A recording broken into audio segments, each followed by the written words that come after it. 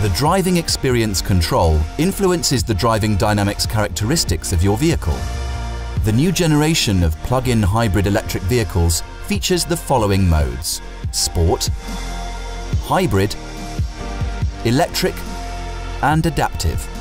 The driving mode Hybrid is divided in three different variants.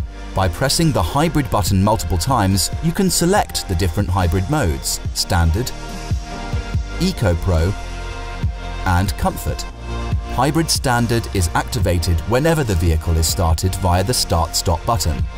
The driving mode Electric is divided in two variants. By pressing the electric button multiple times, you can select the different electric modes, Standard or Individual. Electric Individual can be activated as the standard driving mode. By pressing battery control, a certain state of charge of the high voltage battery can be maintained. Press Set Target Value and select the desired percentage. This way you can conserve the electric range for a later point of your journey. The symbols for the different hybrid, electric and battery control modes are shown in the instrument cluster.